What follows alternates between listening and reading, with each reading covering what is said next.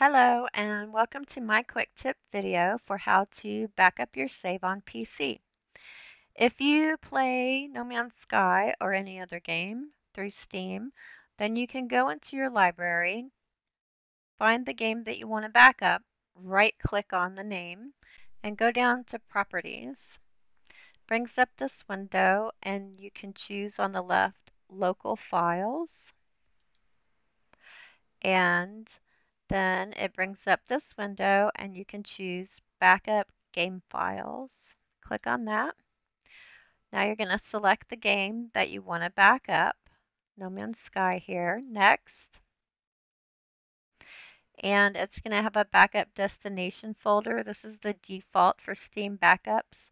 You can do it there or you can browse and choose another place that you want your backup to be done at.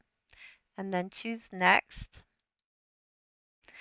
pick the name that you want for the file, for the backup file. Let's go with No Man's Sky 222 and hit next at the bottom and then it'll start backing it up automatically and tell you about how long it's going to take, which is going to jump all over the place at the beginning, of course. Now, not everybody likes to back up their files through Steam. Not everybody plays through Steam. Some people play on GOG. So you can come down here to your search bar and type in percent app data. And it's going to bring up this hidden folder. So go ahead and open that up. And you're going to look in roaming, hello games, NMS.